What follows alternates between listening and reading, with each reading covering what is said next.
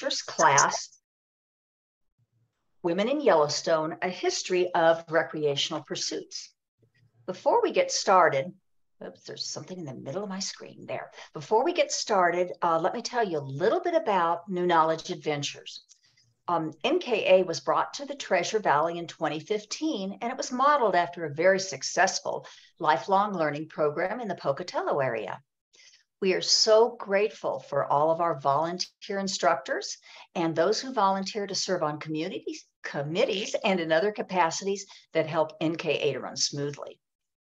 Before we get started, there are few ground rules to cover.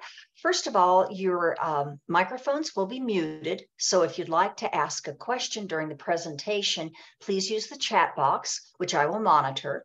And then uh, at the end of the presentation, we'll look at the questions posed there and give Brandy a chance to answer those.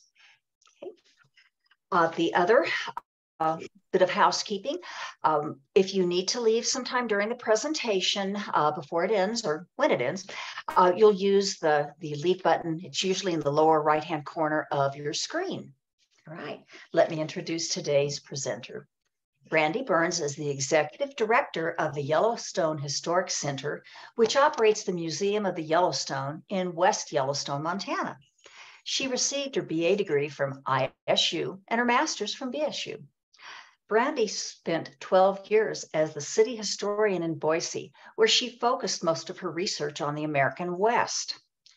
Currently, she serves as the chair of the Public History Committee of the Organization of American Historians. Brandy's previous speaking engagements include academic conferences, RootsTech, which is the world's largest genealogy conference, and numerous community presentations. Please welcome Brandy Burns. Thank you for having me this morning. Let me just get my slides up here for you.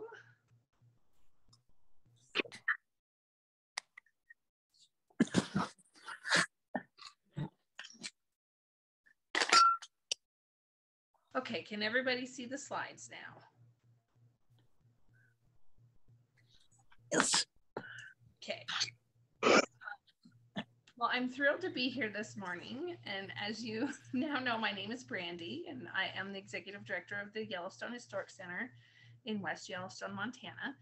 I live over here in Island Park in eastern Idaho, so I have a little bit of a commute every day, but it's really, it's a really nice drive. Um, the YHC is a 501c3 nonprofit, and we actually operate the Museum of the Yellowstone, which is open during the summer the summer months, and um, we just closed in early October. We also operate the Union Pacific Dining Lodge, which was built in 1925. It was um, designed by Gilbert Stanley Underwood, and we run that now as an event center. And we have a lot of lovely weddings there during the summertime. It's just a lovely building.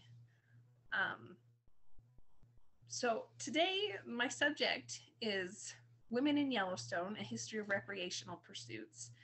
I really want to talk about women who were out hiking and fishing and sightseeing and um, just being out there in nature. But one of the questions, of course, that I can't help but ask myself, and I'm sure others ask it, is why do we care? because well, the reason that I'm coming up with is that bes- beside this image that we have of 19th century outdoor recreation, which this is just a quick night um, Google search for images that I did. If you look in there, you see mainly men. Um, there is one lady on a bike down here. But despite that, this is the images that we get, we know that women were really out there getting dirty and having fun and conquering mountains. They too felt what John Muir wrote to his sister in 1873 that the mountains are calling and I must go. So let's take a look at some of these women who answered the call to go to the mountains in Yellowstone and to see the geysers and the rivers and the wildlife. My first lady that I like to talk about here is Frances Joyce, Frances Joyce Farnsworth. She was the author of several children's books during the 1920s to the 1950s. I have to admit, I do not know exactly how she liked to play outdoors, but I do know that her trips to Yellowstone National Park inspired her very popular series, Cubby in Wonderland and Cubby Returns to Yellowstone. Um, she's currently a part of one of my projects I'm calling The Search for Frances Joyce, Frances Joyce Farnsworth. She's kind of tricky to find, to tell you the truth. Um, I have found out that she used her daughter's name as her pen name. So Frances Joyce is, is her daughter's name.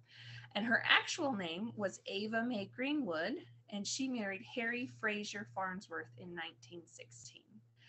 Um, Ava was born in Kansas in 1891, and she went to Colorado sometime after 1910.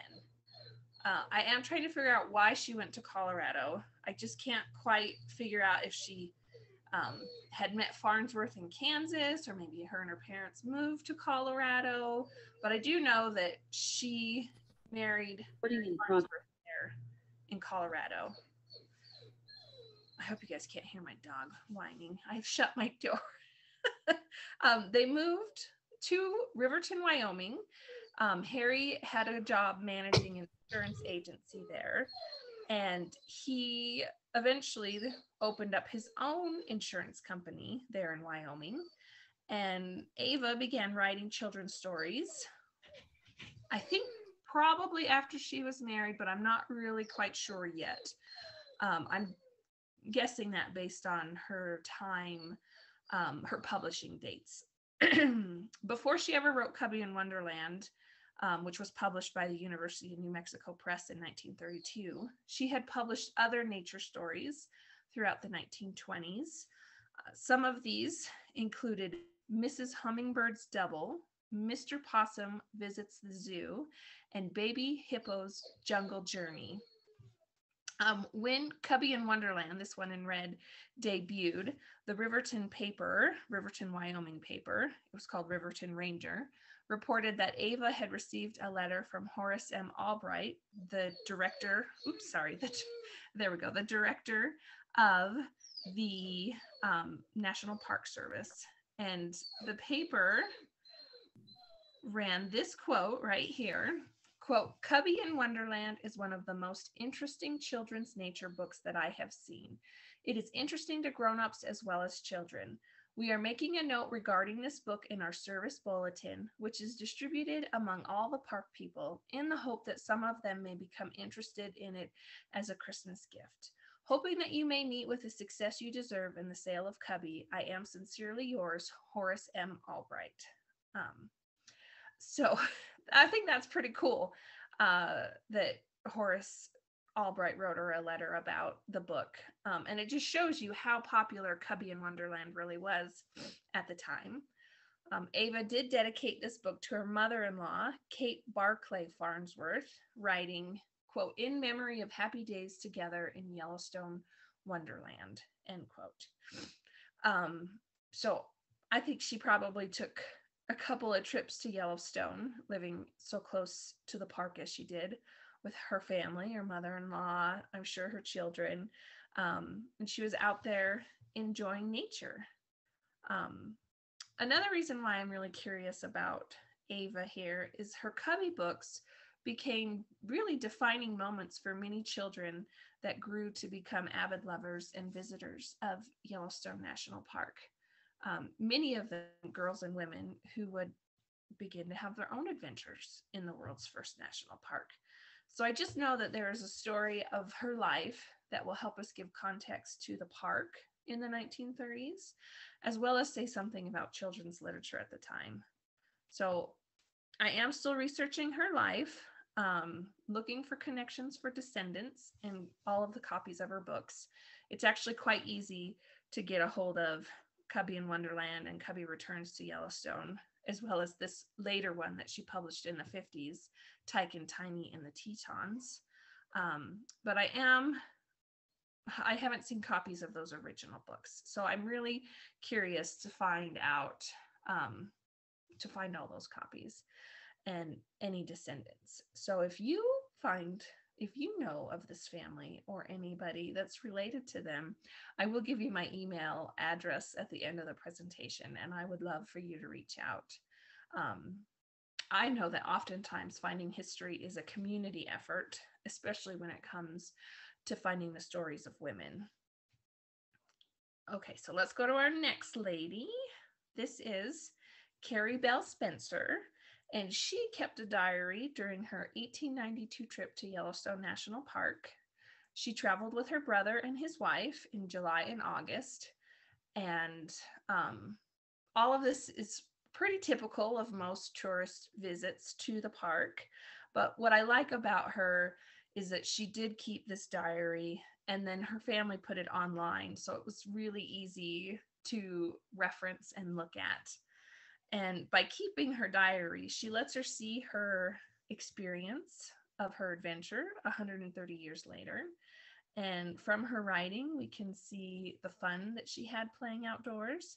And then you can also see some of the downsides of seeing the park by horseback.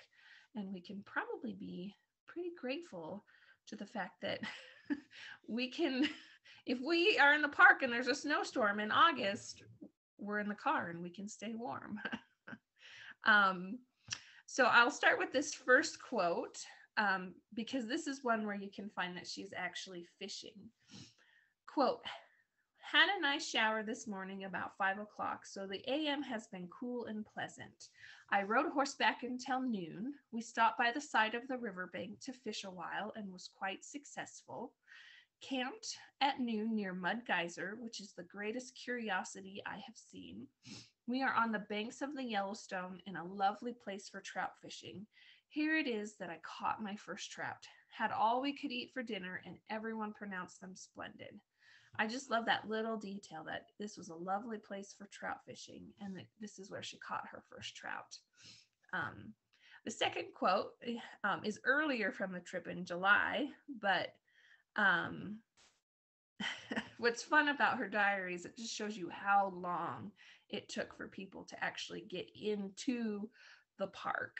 Um, so even in July, they had been traveling for at least a couple of weeks by now, and they still weren't in there um, that, but they were roughing it already. Quote, the morning was cloudy and very cool. The mountains were in sight and looked very pretty. Drove all the AM past the 30 mile pasture, camped at 11 o'clock at the new town on the bank of a stream by the same name. It was pretty warm by this time, and soon after camping, we were in the stream having a good bath and swim, 35 miles from Clear Creek to Sheridan.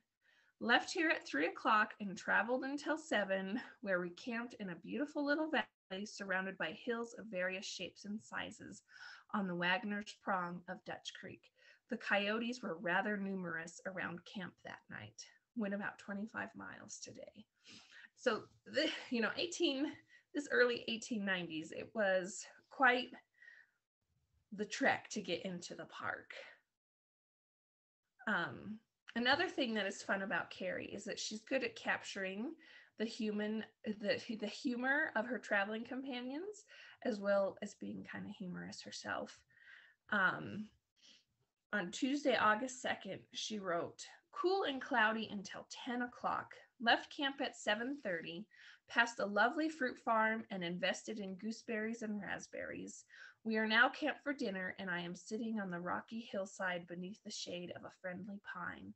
I hear the welcome call of dinner is now ready in the dining car, the rear car. so we know, you know, at this point they were traveling by horseback. They did have a buggy.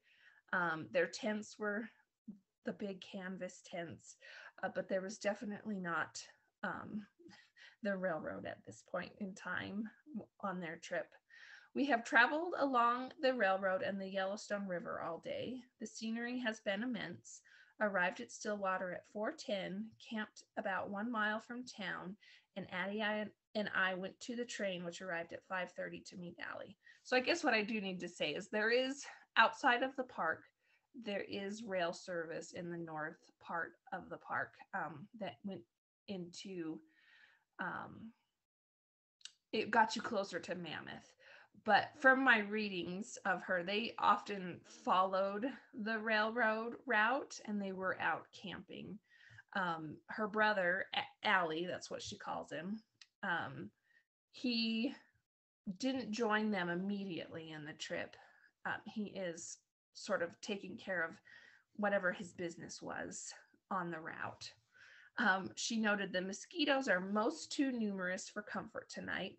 John has built a big sagebrush fire, and I helped S with the dishes, sprinkled some this PM, met four cowpunchers. Lovely moonlight evening, went 26 miles today, 155 miles from Billings to Livingston. So, John and S are actually um, guides on this trip that they're taking. Um, she wrote a lot about the scenery, which that's pretty typical about these travel accounts into Yellowstone at the time, and really even today. Um, on August 5th, she wrote left camped at 7 a.m. Alva and I made 10 miles horseback followed along railroad and Yellowstone River very close all day, stopped at a neat little schoolhouse to interview the teacher a while, and found that she was from Boone County, etc.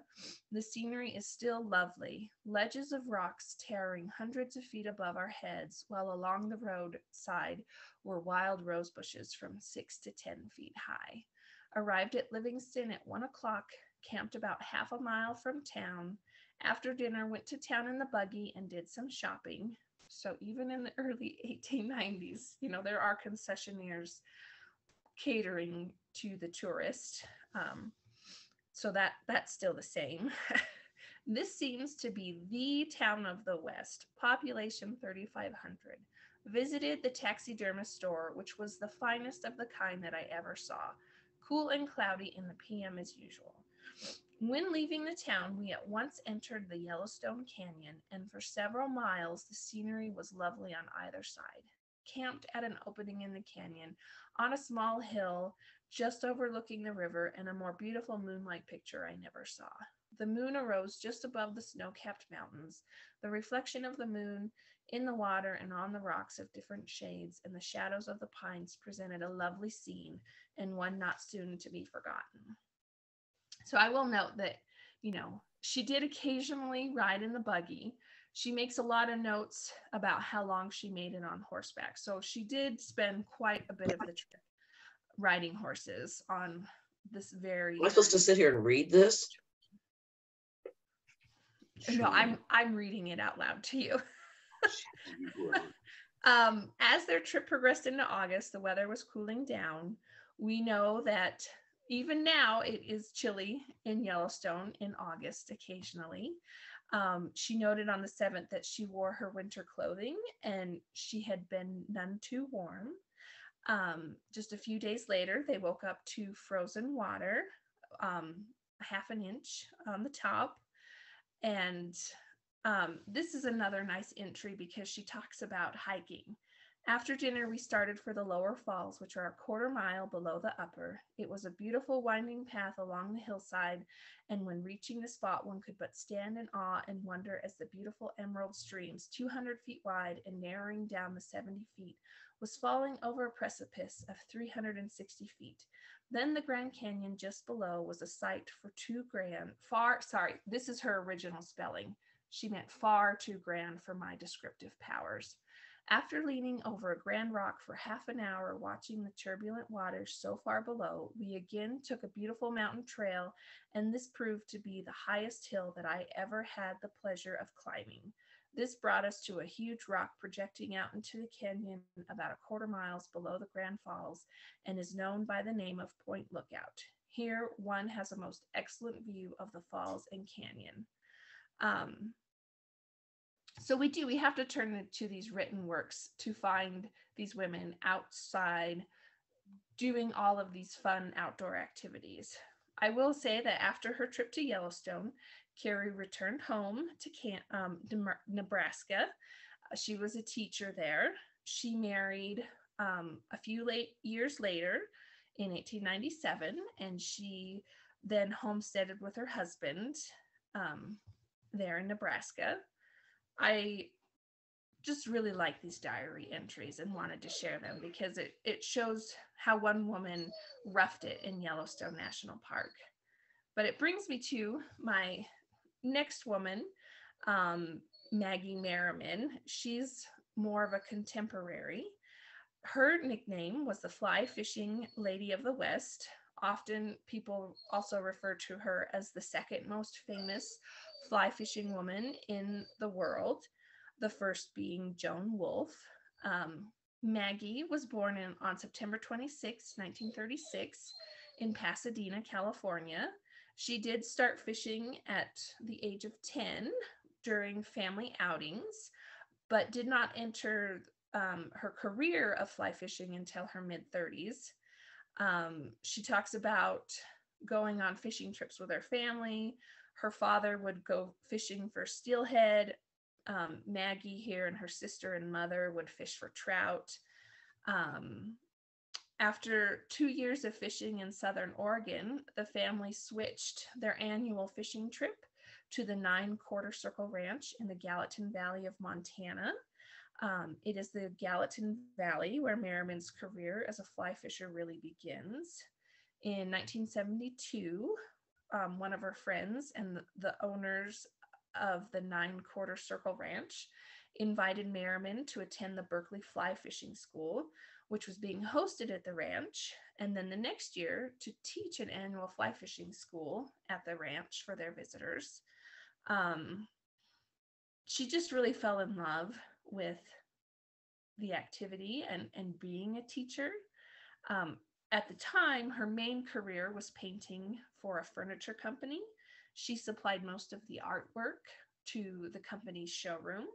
She had earned a Bachelor of Fine Arts degree from the University of Arizona and also studied commercial art at the Art Center of Los Angeles.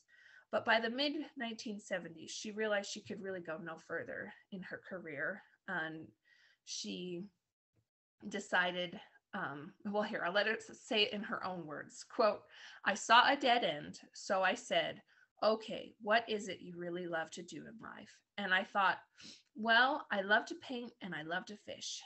So I gave myself a five year plan, end quote.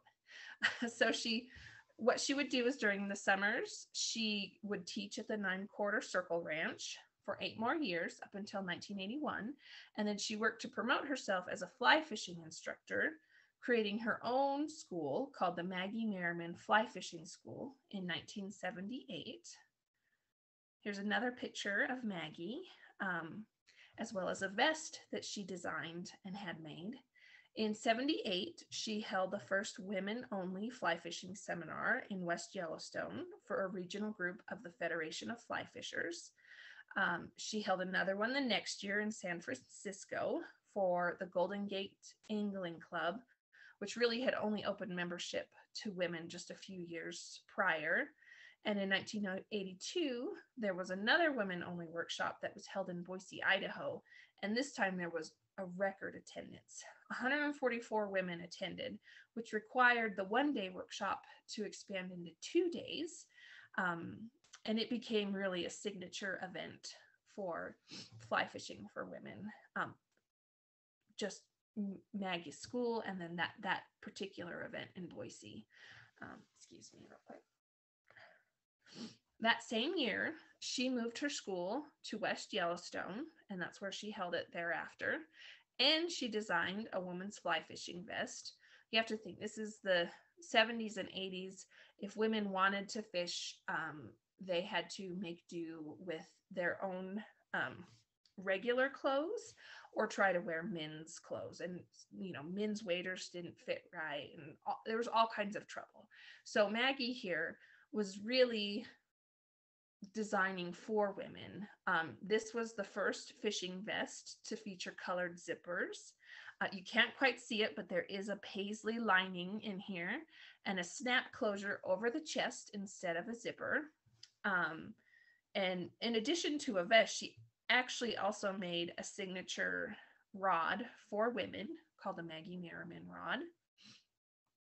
And here's a zoomed up picture here of her um, label in her clothes. She did sell the vest under a line in her own name and designed some other fly fishing related products other than the vest and the rod. Her line sold very well, but after five years, she stopped production because they were just no longer economical to produce in the US. And she was really concerned about quality control. So she wanted, she didn't want to do it anymore because she just didn't think that she could get the quality that she wanted. Um, she continued her school in West Yellowstone during the summer months, and then during the winter, she went to Huntington Beach, California, which that's a pretty common story here in West Yellowstone. The winters are not for everyone, and it seems like quite a few people do winter in California.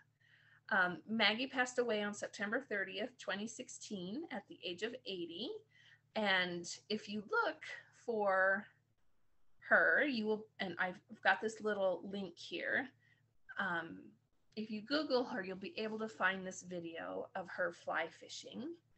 I won't play it all, even though it's like two minutes, but I just want you to listen to her voice um, and then I'll stop it.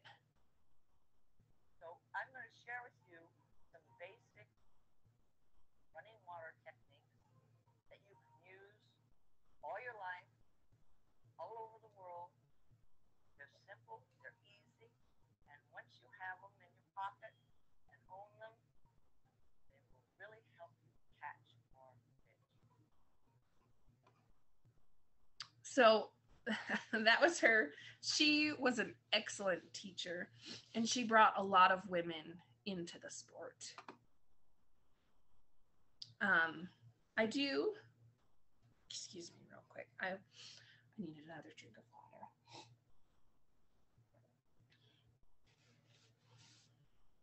Um, I'm on a fly fishing kick. So the next few women I'm going to talk about were also women who were notable in the fly fishing recreation world here in West Yellowstone.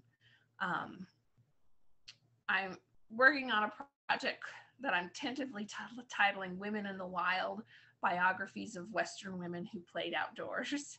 And right now I have a lot of women who are fishers. So I might just need a separate project for them.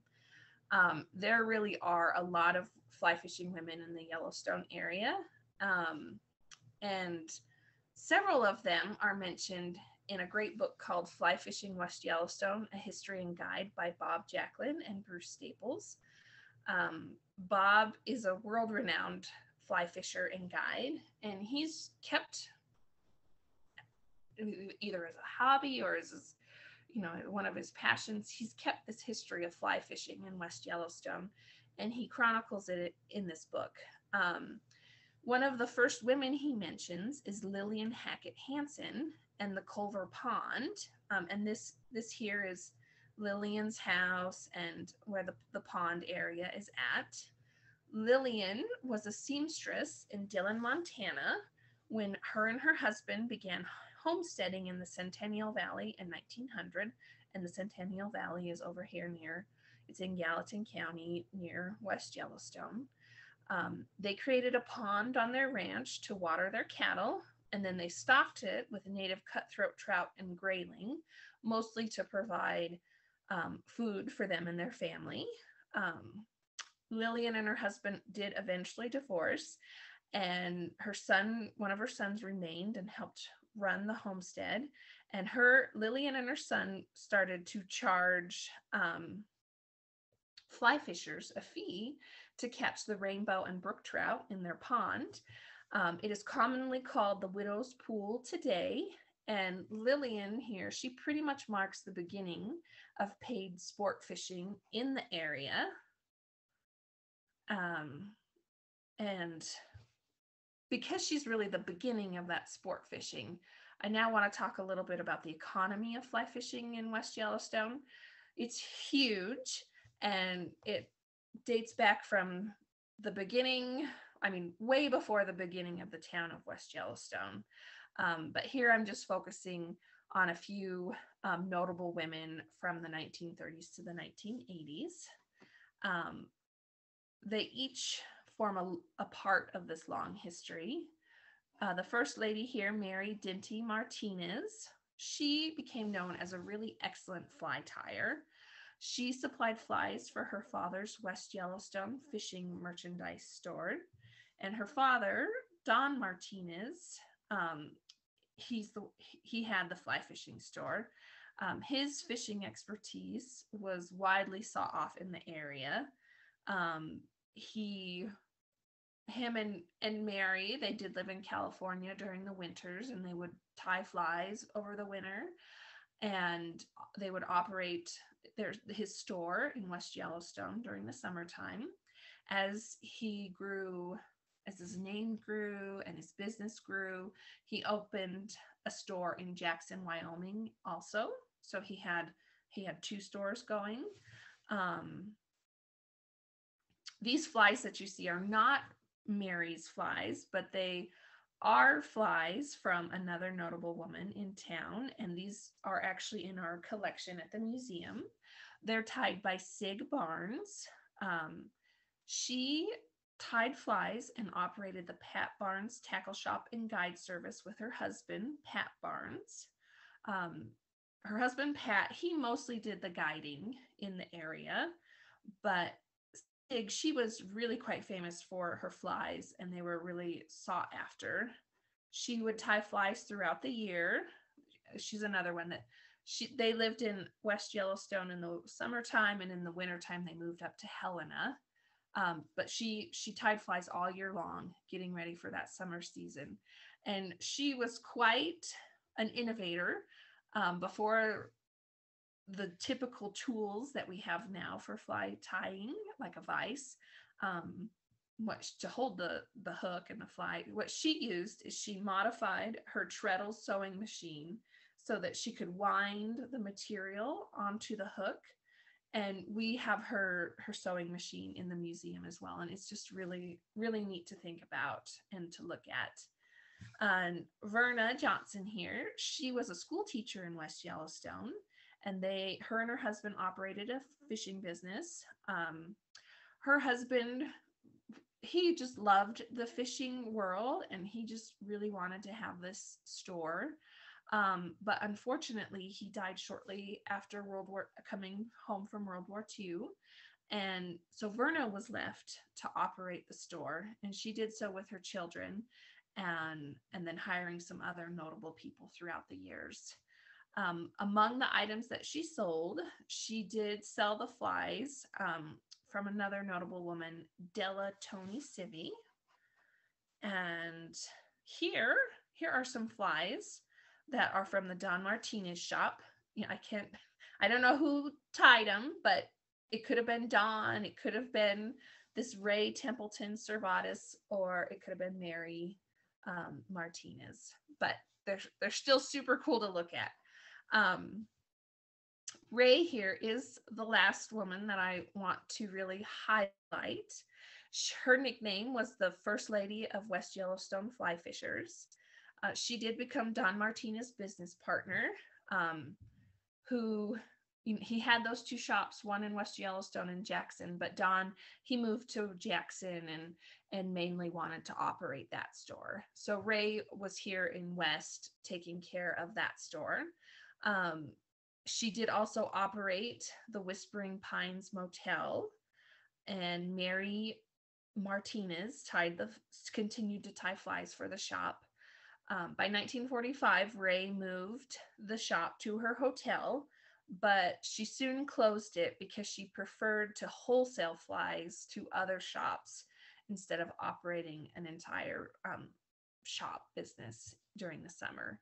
Um, and so she she tied flies, she wholesaled flies from just a whole bunch of other men and women fly tyers, and she did that into the 1970s. Um, she did pass away in the very early 1980s, um, but we have a great. I didn't have it digitized, but we have a great photo of her holding up a really big trout that she had caught um, and it's just just a great image um, because there's just so many women to talk about and this is such a big subject um, I'm still really actively researching all of these women and you know taking suggestions for other women. But I do I do like to provide more reading examples if you find this a really interesting history um, because you know all history is built on top of itself one person contributes some and then the next person contributes more or, or a little bit more and i just wanted to let you know about these three books because they've they've all really been helpful. Um because i really came at this as a beginner. I knew nothing about fly fishing before i started this research. Um, i have just I've really mainly focused a lot on women and voting and and as part of that women suffrage history finding that of course a lot of women here in the west wanted the vote in order to make differences. It wasn't so much about just getting the vote to them i should say. They wanted the vote so that they could make a ch- change in their world for the causes that meant the most to them. And so we see several women in Idaho and Montana and Utah that are really campaigning for the vote because they want to save wilderness areas. Um, ju- um, there's a woman in Idaho that, you know, she was just really passionate about the Sawtooth Mountains and wanted them to be a national park. So she was a suffragist, but she was doing the suffrage work in order to make a difference in these other causes that were close to her heart. Um, so basically, we just, there's just so much to learn. Um, and that includes even us historians. We, we come to a project, we try to understand um, all I understood from sport from fly fishing as a sport is it looked like it was more complicated than just regular bait fishing. Um, but that that concept is now changing as I've read these books and I've been talking to fishing enthusiasts in the area. Um, this first one that I want to mention to you is The Unreasonable Virtue of Fly Fishing by Mark Kurlansky. It just came out last year. Um, it is a really accessible read for beginners that are not familiar with fly fishing. Um, it's very informative, but I, I didn't really like the way he treated women fly fishers and their contributions. It's not really a poor treatment at all. It's just that I thought it lacked some nuance, but it does a really good job of talking about the heritage of fly fishing. Um, one of my favorite ones here is the middle one Reel Women, The World of Women Who Fish. Um, it's an excellent read. She is such, Lyla is such a great writer, and you learn so much about women and all the different ways that they contributed to fishing from, you know, fishing here in lakes and streams to landing giant, just massive sea fish um, so I can't recommend this one more. And then this last one, Fly Fishing West Yellowstone, a history and guide. It's a very quality book about the history of fly fishing in West Yellowstone. Um, and I was really pleased when I first came across it to find these women that we talked about today. Um, and it really was my first introduction, and it, it it's a great one because it made me curious to find out more.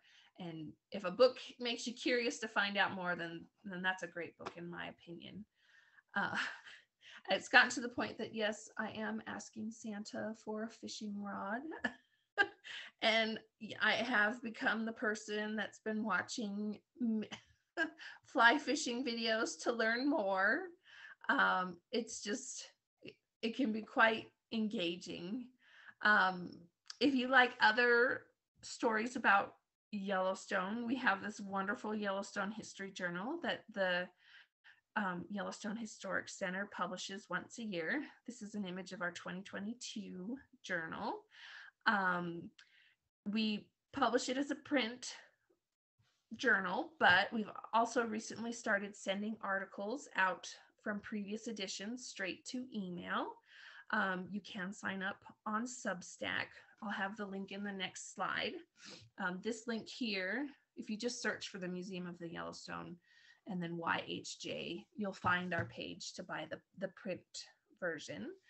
And um, memberships to the museum help us tell all of these stories in presentations like this, as well as at um, at the museum itself.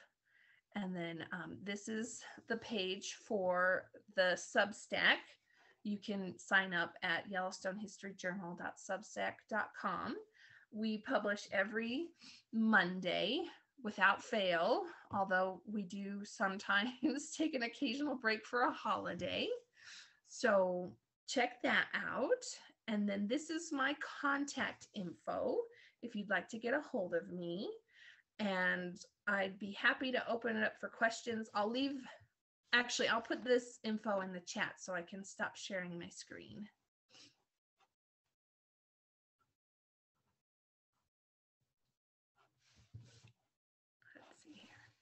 All right. And while Brandy is putting her contact information uh, in the chat box, we've got a couple of comments and a question.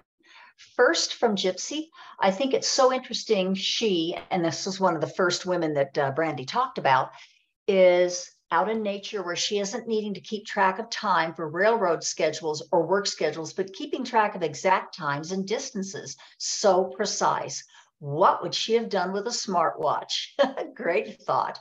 And a second, um, and, and, I thought the same thing. Gypsy had commented on uh, how innovative of Sig to use a treadle sewing machine for fly tying. Uh, I have a brother who's an avid trout fisherman and fly tyer. I guess that's a noun. I am going to share this information with him. And then a question. Did these early sportswomen encounter discrimination or marginalizing, marginalizing, sorry. Yeah, that's a great question too. Excuse me.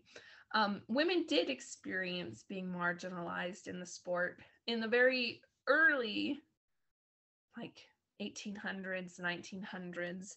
You know, there was a lot of, we didn't have the really light carbon reels that we have today or fly rods. So, one of the sort of barriers that they had was just how heavy the equipment was. And that's something that Mark Kurlansky points out. But I still think that if you're determined, there there would be women um, participating out there in the sport because you know sometimes you just need a, a stick and a, some twine and a hook. Um, but there were for a long time until Joan Wulff you know she she loved to fish and she loved to be in the sport but she realized that you know no one would want to have her as a guide or take any of her advice unless she became really notable in the sport and so she did start com- competing um, some in all men competitions but then really got some women competitions going and when she won these world titles then she was able to um, be a guide like she had wanted to be. And Maggie was the same, even in the 70s.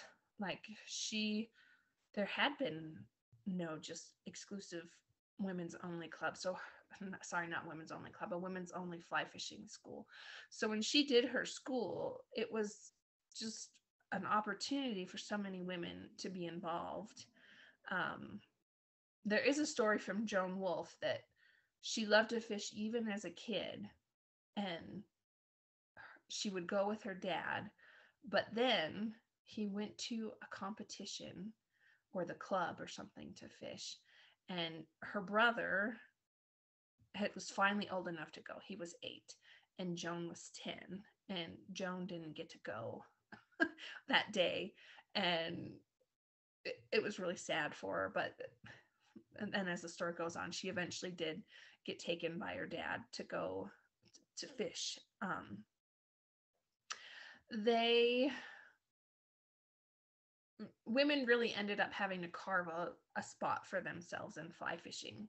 Um, it was through Joan and Maggie who started clothing for women. I mean, I'm I've got my Orvis sweatshirt on today. Um, Orvis is a big fly fishing name, and um, as they saw the success of Joan and Maggie and other women, then they started making products for all of these women who wanted them. Um, and so that tradition continues. I am looking at the chat box. I don't see any additional questions posed. If you have one, please use the chat box now. All right, I I don't see any more questions. So, Brandy, thank you so much for sharing this information. Um, and it was so it was so interesting learning about the the early challenges, the the diary entries, the early challenges all visitors, but especially women, had um, uh, visiting Yellowstone. And I, I wish my mother were alive to have seen this presentation because she was also a fly fisher person. Um, in her in her 60s got very interested so um, she could probably relate to some of the challenges all right if there are no more questions brandy thank you again so much uh, for this great information um, and the contact information again is, um, oh, there is a question. Wait a minute. The chat box, yay. Um, let's see. Oh, Lisa wants to know if Brandy fly fishes. yes, I have not officially fly fished yet, but I am asking for a Tenkara fly rod for Christmas. because it's um I'm still intimidated by how complicated some of it seems like am I going to get the right reel? Will I have the right line? What's the right fly? And I overthink too much. So I like the idea of tenkara, which is a I believe it's a 12th century Japanese fly fishing technique. And it's literally just a fly rod with that's about eight, nine feet to 10, maybe even 12 feet long. And then you have a line that extends out with a fly. And then when you're, you just cast it. And when you want to reel in, ba- reel in, you just pull it up a little bit and then you go for the, the, the line and pull the fish in that way with a net. So that's my goal. It seems simple enough that I won't overthink it. I'm hoping. I have bait fished a lot. I remember fishing as a kid all the time. Um, and I kind of stopped fishing when my dad told me, I, asked him to put the worm on my hook for me because I didn't like to do that. And he's like, I'll do it this last time, but you're old enough to do it from now on. And I was like, okay, I won't fish anymore. and I didn't until this last summer where I did spend a couple of days out there trying to catch something. I didn't I didn't catch anything though. well, Brandy, good luck with your fishing. And I imagine there's a Trout Unlimited chapter in Montana that can probably give you some more information. Yeah. Um, all right, and there are kudos coming in on the chat screen. Very interesting information. Thank you so much for sharing with us, et cetera, et cetera. If there are no more questions, I believe that is the end of our session, though. Thank you, Brandy, so much. Thank you, everyone, for participating in our last NKA class of this fall semester. Goodbye, everybody. Thanks. Bye.